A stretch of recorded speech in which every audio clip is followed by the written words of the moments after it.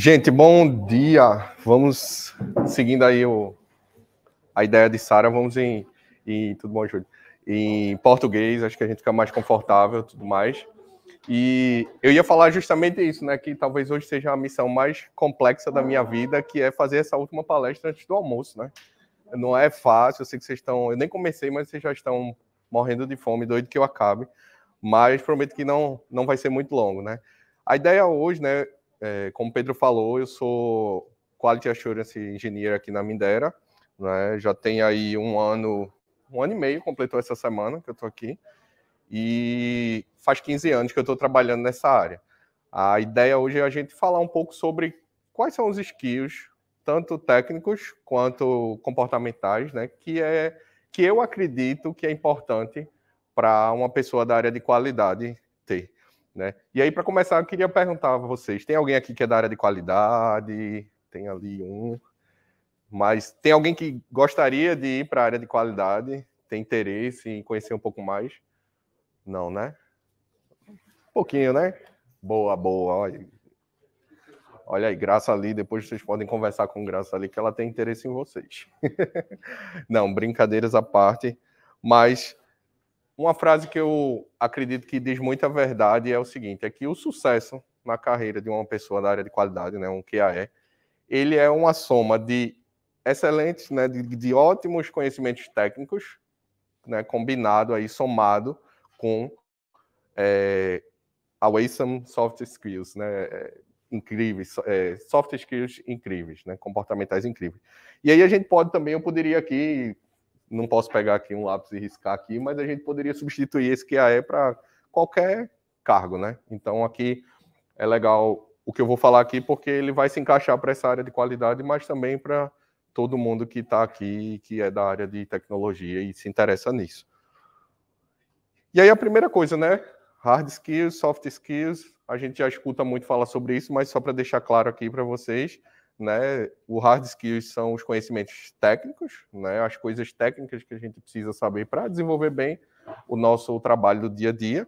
E os soft skills são as coisas que do lado comportamental a gente precisa também para poder ter uma boa convivência, para poder também fazer as coisas boas, né? Eu acho que a gente não se a gente for só bom no técnico, a gente não consegue nem conviver no ambiente de trabalho. E se a gente for só bom no, na convivência, a gente não caminha na parte técnica, né? A gente é, teve um teve um lugar que eu já trabalhei que diziam o seguinte, eu acho um pouco radical, mas dizia que é, você é contratado pelos seus hard skills e você é demitido pelos seus soft skills, né? É, tem um pouco de exagero nisso aí, mas assim, eu acho que é, é a combinação disso é muito importante para o nosso dia a dia.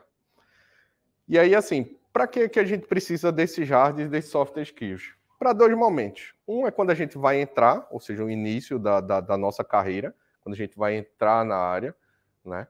E também quando a gente vai, ao longo do tempo, evoluindo, quando a gente vai é, crescendo.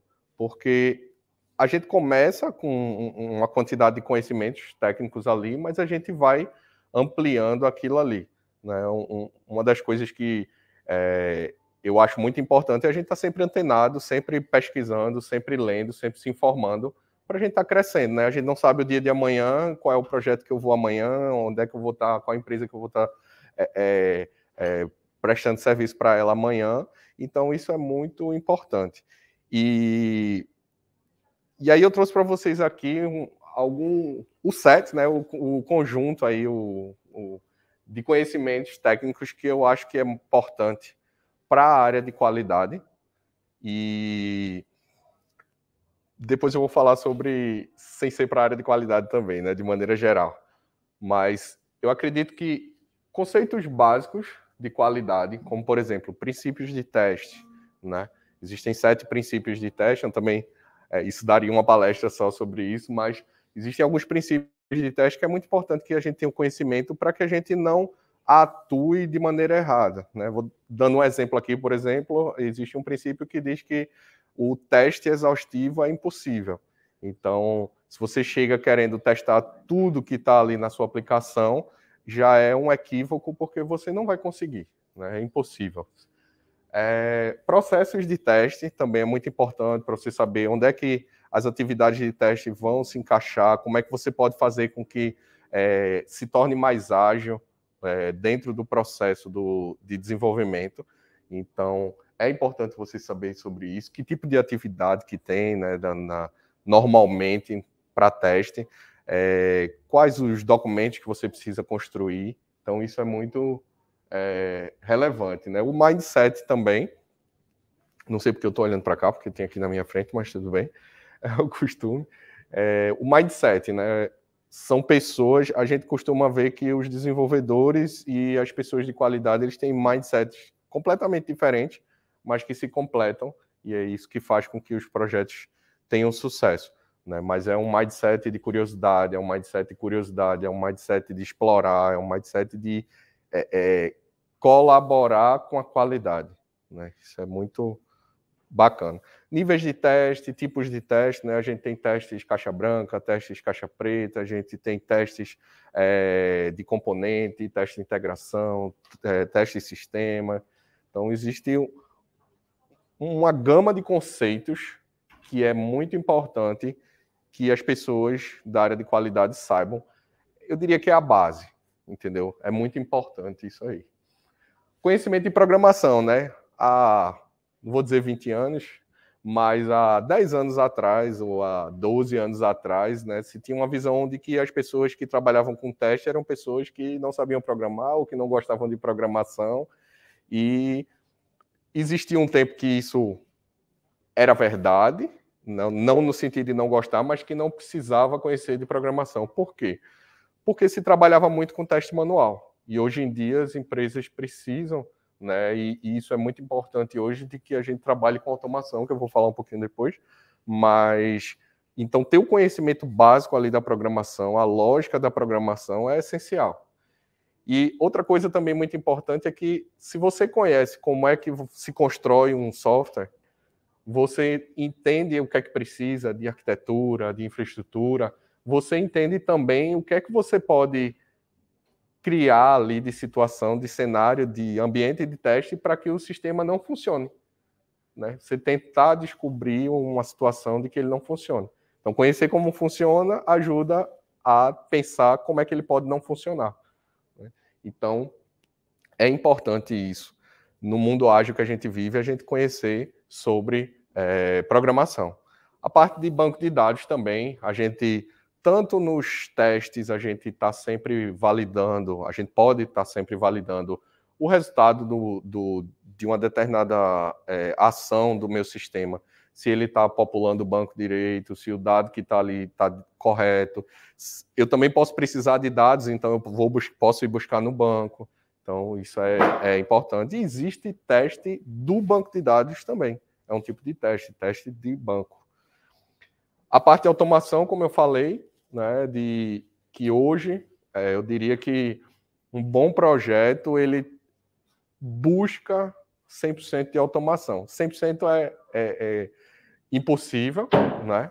Mas opa, alguém se acidentou ali.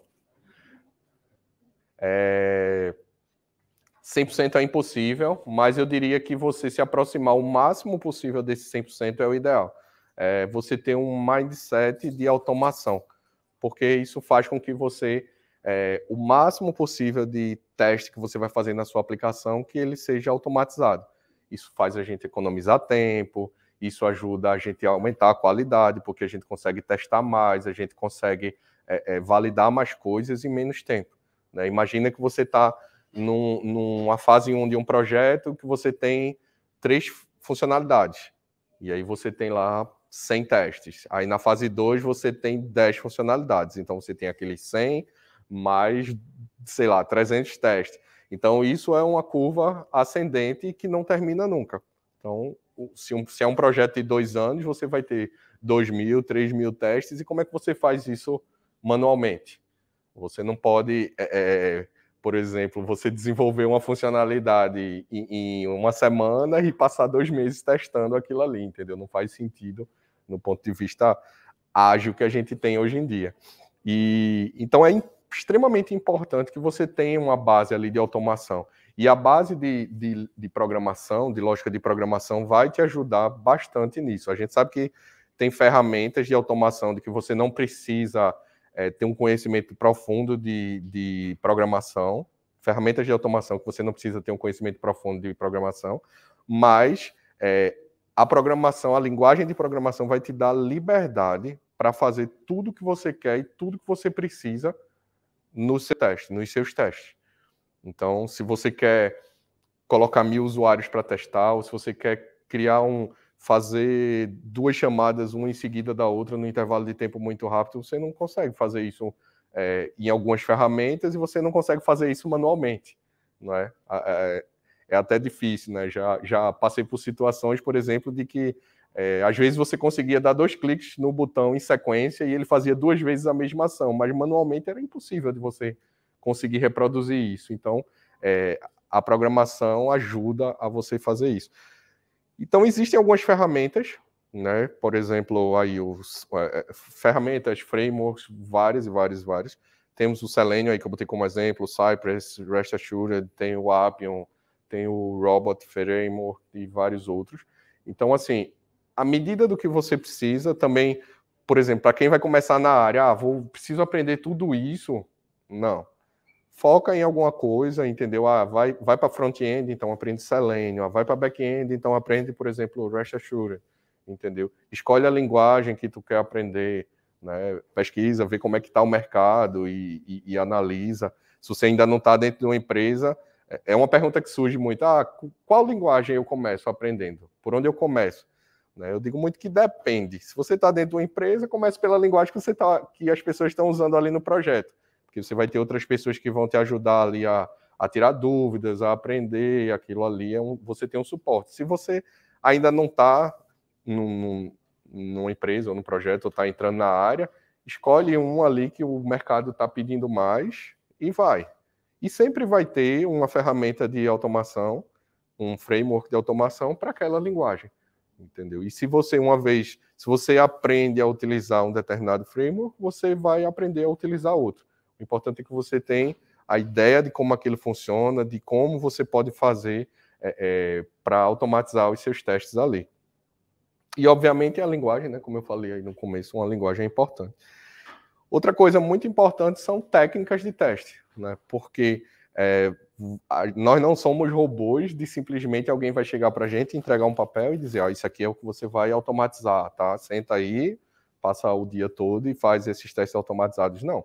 Eu tenho um sistema que eu vou testar e eu preciso pensar o que é que eu vou testar, como é que eu vou testar aquele sistema, o que é que é importante de eu validar, que tipo de teste eu preciso fazer ali.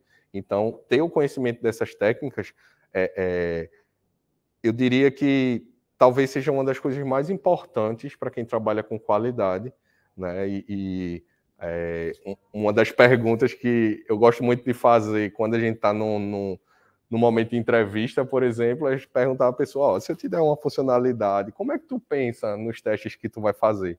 Justamente para ver se a pessoa tem, por exemplo, esse conhecimento de técnicas de teste e, e esse tipo de coisa. Então, isso é, é importante para a gente. Exemplos, né? Tem técnicas é, black box, né? Caixa preta, por exemplo, partição de equivalência, é, a gente tem análise de valor limite, a gente tem tabela de decisão, são algumas técnicas.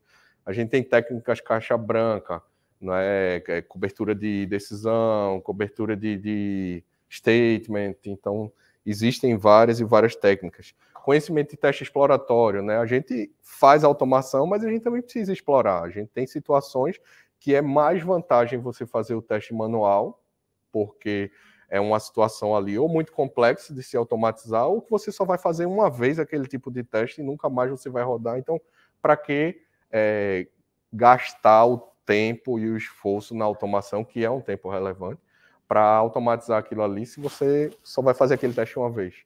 Né? Por exemplo, ah, eu vou checar que o meu sistema manda um e-mail com login e a senha para o usuário quando ele, quando ele se cadastra lá no sistema. Então, será que eu preciso sempre estar olhando para ver se esse e-mail chegou? Se eu for rodar esse, é, é, a minha bateria de testes todos os dias, será que eu preciso ver isso todos os dias ou eu vou ver poucas vezes e teoricamente a gente nunca mais vai mexer nesse tipo de funcionalidade? Então, É uma coisa a se pensar, né? um exemplo aí.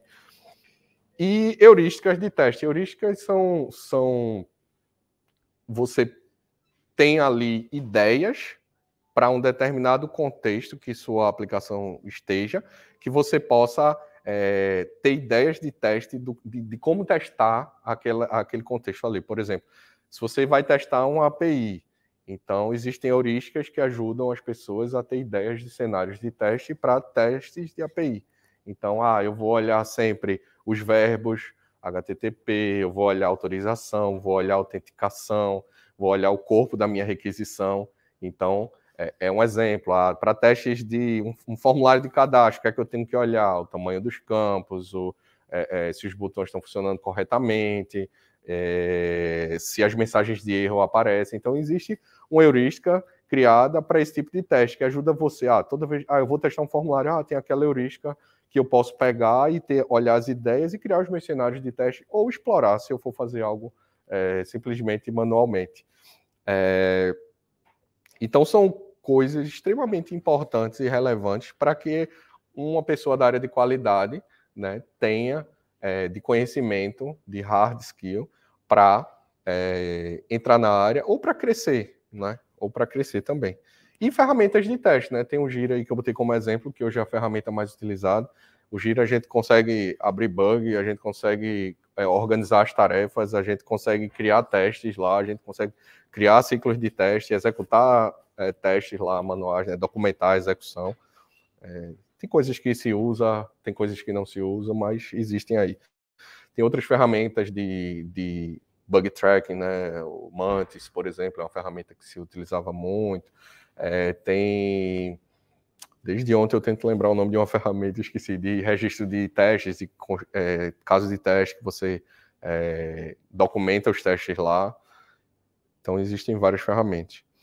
E os soft skills, na minha visão, que são extremamente importantes para o nosso trabalho na área de qualidade, né, eu destacaria a comunicação, porque você está sempre se comunicando com alguém, então você tem que conversar com o PO, você tem que conversar com o desenvolvedor, você tem que conversar com o analista de negócio, é, com o gerente, com o cliente, entendeu? Então você. É, o trabalho de qualidade é um trabalho delicado, porque você está sempre, vamos dizer assim, na cabeça dos outros, você está sempre é, apontando problemas da aplicação. Então não é uma coisa fácil. Então, se você não souber como você chegar para expor uma situação, como você chegar para mostrar é, que tem um, algo ali estranho, entendeu? Isso pode gerar um problema no time, isso pode gerar, se, não, se a gente não tiver, opa, se a gente não tiver é, uma equipe bem trabalhada ali no mindset de qualidade, porque qualidade, eu vou falar mais à frente, é um compromisso de todos, não é de uma pessoa só, mas você pode ter esse tipo de problema, você pode ter essa situação. Então, o jeito de você se comunicar, o jeito de você falar é extremamente é relevante e importante para um bom trabalho. Questão de curiosidade e criatividade também, porque você tem que estar tá pensando o que é que você vai testar, você tem que estar tá pensando como é que o seu sistema não vai funcionar, o que é que vai acontecer com ele, se você fizer isso, e se é o, é o velho e se, né? E se eu fizer isso, e se eu fizer aquilo, e se eu tentar isso, né? Porque às vezes você tem os requisitos bem documentados ali do seu sistema, mas tem situações que você não está explícito ali né? Então, tanto em reuniões que você está discutindo o requisito, você, sua cabeça ali está ouvindo, mas você está fervilhando de ideias ali e, e sendo criativo para pensar e se acontecer isso, e se o usuário fizer isso, e se acontecer aquela outra situação. Então é muito importante e ser curioso. Eu não posso simplesmente chegar, diz ali que tem um campo de nome que cabe 10, eu vou chegar, cabe 10 caracteres, eu vou chegar ali e botar um nome com 10, né? Então junta essa questão da, das tentativas diferentes aí de você pensar. A, a paciência, porque você está sempre encontrando problemas. Você está sempre se deparando com situações de ah, o sistema não está funcionando, ah, eu preciso testar isso, mas essa parte anterior aqui não está muito legal. É, já era para eu estar testando isso, mas ainda não está pronto. Isso era para estar tá documentado, mas não está documentado. Então, é você tem que ser uma pessoa calma, uma pessoa equilibrada, uma pessoa tranquila, porque isso faz parte do nosso trabalho, isso faz parte do dia a dia, isso é normal e, e é um skill muito importante. E a auto-organização, porque às vezes você. É, isso é muito importante aqui, como o Pedro falou né, na primeira palestra, de maneira geral, de maneira organizacional, mas ali, quando você está dentro do time, ali, isso também é muito importante. Como é que a gente vai se organizar para atender essas prioridades? Como é que a gente vai dividir o nosso trabalho para é, conseguir atingir o prazo?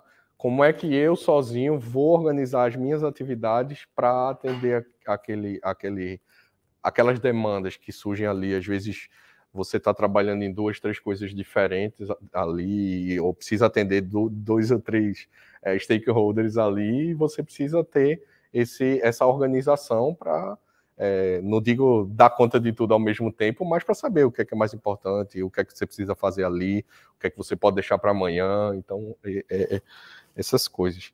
E aí vem a pergunta, né? Eu não sou um QAE, eu botei aí, falei antes, mas eu não sou um QAE nem tenho vontade de ser, mas por que, que eu estou assistindo essa palestra, né?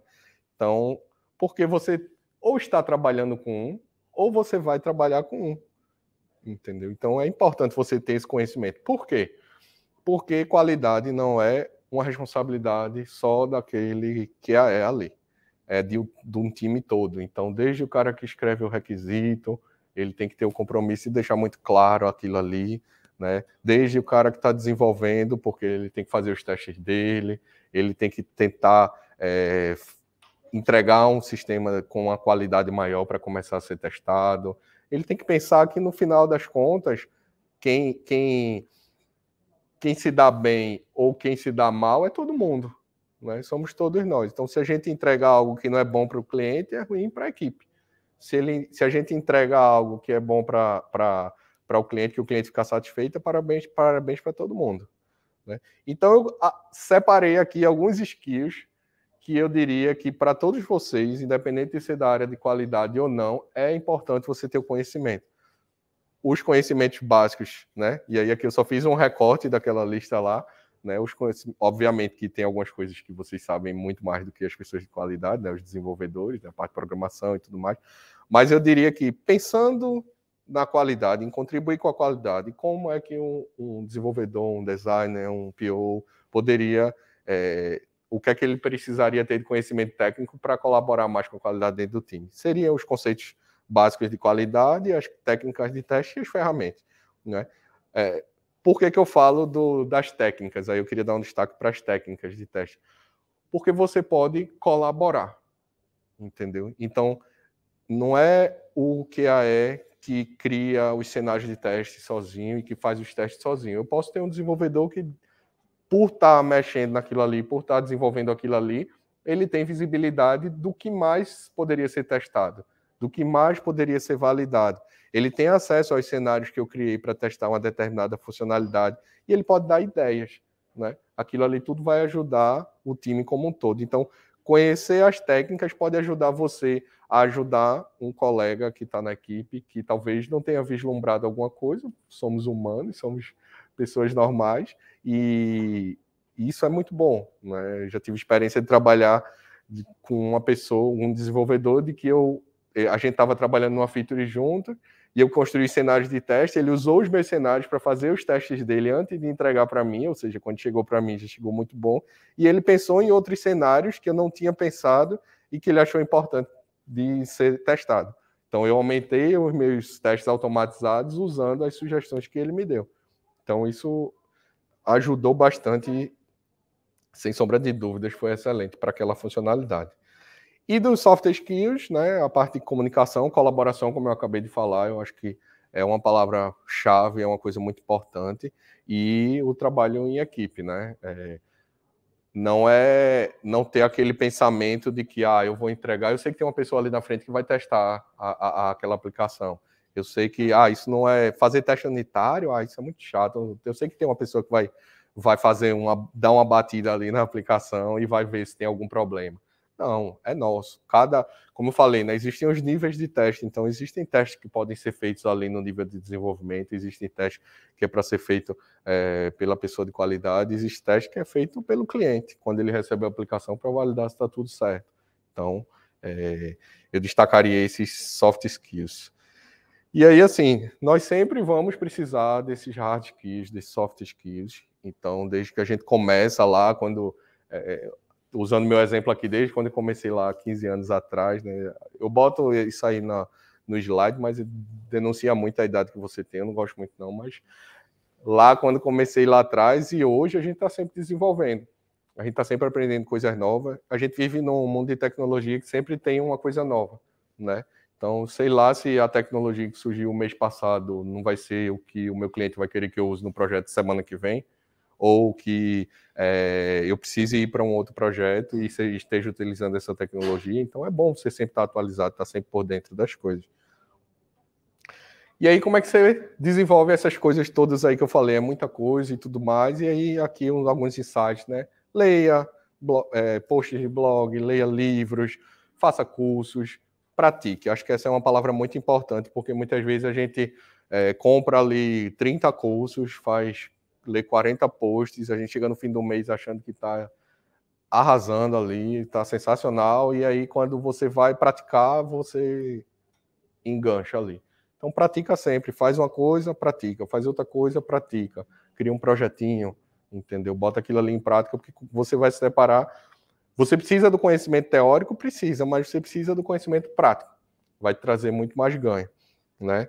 Participe de meetups, vocês estão aqui para isso, né? Conferências, converse com outros QAs, né? Eu acho que é importante você conversar com outras pessoas, sempre tem alguém para te ajudar, para dar uma ideia, para é, trocar experiência com você. É, crie suas referências, né? Tá cheio de gente aí postando coisas legais, é, escrevendo é, e, apresentando, se apresentando. Então, crie suas referências, comece a seguir essas pessoas, comece a ler essas pessoas, acompanhar. É, é bem legal, eu tenho minhas referências. É, cada um da gente vai construindo essas referências e, e, e é legal acompanhar essas pessoas.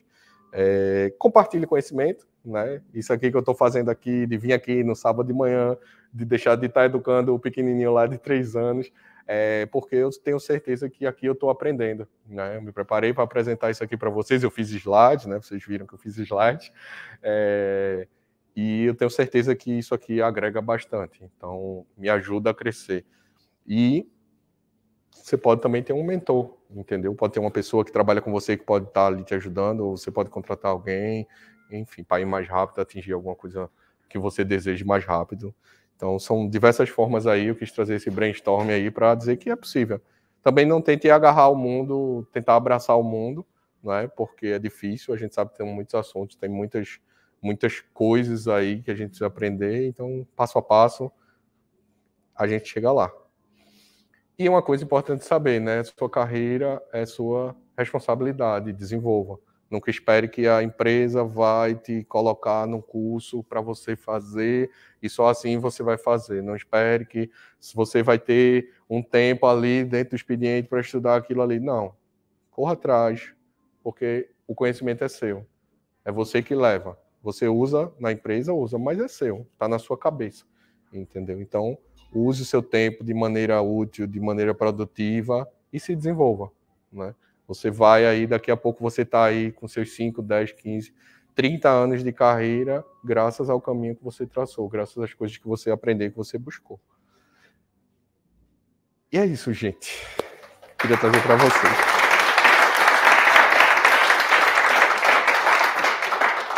Perguntas. Perguntas.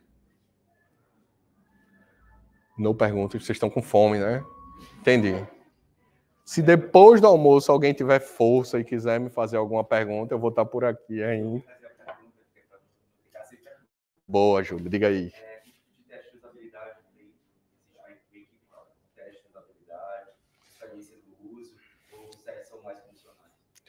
Pode existir é, equipes que trabalhem diretamente só com testes não funcionais, que a gente chama, teste de usabilidade, teste de performance, teste de acessibilidade, mas geralmente dentro da própria equipe você trabalha o lado funcional e o lado não funcional. Então, é, se é um, um, produto que a usabilidade é algo importante, ou se, por exemplo, o cliente vislumbra que aquilo é muito relevante, e, e ou, por exemplo, a gente tem requisitos de usabilidade, por exemplo, é, é, é, essencial que você tenha aquilo ali. Então, você pode trazer para dentro da equipe uma pessoa que seja especialista naquilo, ou você pode é, trazer aquilo ali como parte da sua estratégia de teste, entendeu? Então, é, é, por exemplo, acessibilidade também, né? Sempre importante você validar. A gente tem é, milhões de pessoas que podem estar utilizando uma determinada aplicação, e então é importante que a gente esteja validando aquilo ali, performance. Por exemplo, eu trabalho testando a parte funcional, mas também tem performance né, dentro do, da equipe que eu trabalho. A gente também faz.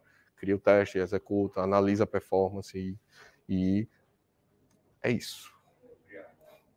O que mais? Olha aí. Tem uma dúvida. É, talvez para os outros seja algo claro, mas para mim que não sou da área ainda, não é. O a qualidade, ela é responsável por uh, identificar os problemas e demandar para alguém corrigir, ou ela mesma corrige? Depende, existem empresas que trabalham com que o, e o próprio QA ele tem liberdade de, se ele tiver skill, ele tem liberdade de fazer um fix ali naquele problema que ele encontra. Mas normalmente ele levanta aquela demanda e os desenvolvedores corrigem aquilo ali. Até porque precisa ser priorizado. Pode ser que seja um bug urgente, mas pode ser que seja uma coisa que você pode deixar para depois. Então fica ali, é priorizado é, ao longo das sprints, aquilo ali, e, e varia. Mas eu diria que 99% é, são os desenvolvedores que corrigem. É, completando, então existe uma escala de, de prioridade do problema que, que é a qualidade que determina qual é ou não. É, você pode ter. Você tem a própria classificação dos problemas que você encontra, né? Se é um problema crítico, se, é um, se a prioridade é crítica, alta, média ou baixa, por exemplo, que pode ser que é geralmente é definido por quem está abrindo o bug, mas aquilo ali é sempre revisto, entendeu? Quando você vai, por exemplo, montar o escopo do que vai ser desenvolvido na próxima sprint. Então você está olhando por aquilo ali, você vê que tem coisas mais prioritárias, tem coisas menos prioritárias, então vai. E isso é trabalhado em conjunto com o time entendeu? Então, é, é, depende, às vezes pode ser um problema que impacte diretamente e esteja impactando o cliente já que tá, o sistema já está em produção, está lá usando. Então, se é uma coisa muito relevante, pode ser resolvido na hora, entendeu? Que a gente chama um hotfix que você precisa resolver ali e entregar o quanto antes. Mas existe essa, essa priorização. E é importante que você, enquanto é, QAE, você tenha a visibilidade de considerando o contexto do meu software, considerando as funcionalidades que estão sendo implementadas, considerando que eu já conheço como é o uso da aplicação. Esse bug que eu estou abrindo é um bug de baixa prioridade, de média prioridade, de alta prioridade? Será que eu preciso, por exemplo, é, na minha equipe a gente tem, se acontece um problema de produção, é, o, o, o desenvolvedor recebe um alerta no celular e se for de fato um problema de prioridade 1, ele vai acordar independente do dia, independente da hora para resolver aquilo, certo? Aí a pergunta que a gente sempre faz é: será que eu preciso acordar o desenvolvedor num domingo às três da manhã para corrigir um problema desse tipo, né, que seria um problema crítico, ou não? No caso, eu não estaria nem trabalhando para encontrar aquele problema no domingo, né? Mas é, é o tipo de análise que você faz para para comparar. Será que precisa? Será que isso é tão crítico que o cara tem que parar uma funcionalidade nova que ele está implementando para resolver esse problema? Entendeu? Tem esse jogo de cintura aí. Mais perguntas? Passou a fome, ó, da galera.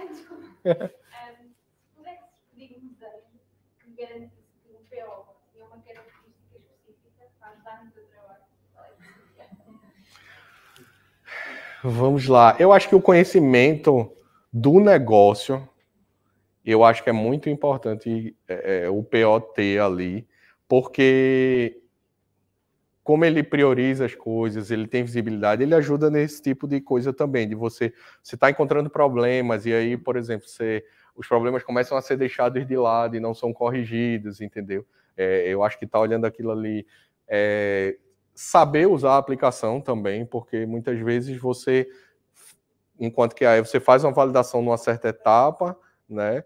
E o PO pode fazer uma outra validação, um outro olhar. Será que antes de entregar ao cliente, a gente, de fato, você que conversou direto com o cliente, que alinhou o requisito ali, será que é aquilo ali mesmo? Ou será que a cadeia toda errou, o desenvolvedor errou, o QA errou e chegou no PO ali, aí ele deu uma olhada. Mas eu acho que isso é entender da aplicação, saber utilizar também. Pode ter alguma ferramenta que você pode precisar usar, se você for, por exemplo, é, se for um projeto de back-end, né? Então, você saber utilizar um Postman da vida para você fazer algumas requests ali, né? O, o, próprio uso da aplicação, acho que eu diria que seria isso. É, é você entender do produto, acho que é a melhor ajuda que o PO pode dar para a gente. Nada. O que mais? Além do ponto das, das que a nível de QA, o que, é que, que, é que se poderá, que, é que se poderá, que, é que se pode utilizar para testar o, o, o sistema de mensagens, como Kafka, por exemplo? Veja, e... aí eu fui para longe. É, existem diversos frameworks, dependendo da linguagem que você está utilizando, para testar diferentes tipos de sistemas. Entendeu? Especificamente sobre Kafka, eu nunca trabalhei, entendeu? Não saberia te dizer diretamente o nome de uma ferramenta, mas existe, existe. Entendeu? Existem frameworks e bibliotecas que, tra que trabalham diretamente com isso. O que mais?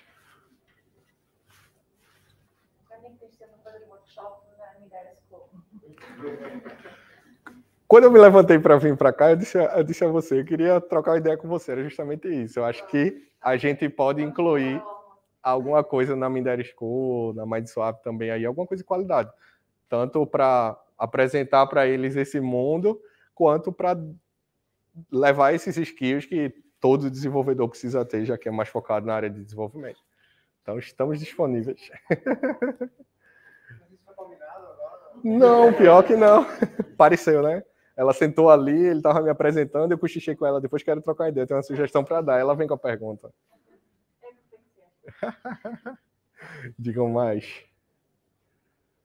Acho que é isso, né? Eu nem falei com o pessoal que está lá em Aveiro, o pessoal que está em Coimbra, o pessoal que está na internet, mas muito obrigado, obrigado a vocês, né? Obrigado pessoal que fez o convite também, para a gente é sempre um aprendizado estar tá aqui. Tenham um ótimo dia.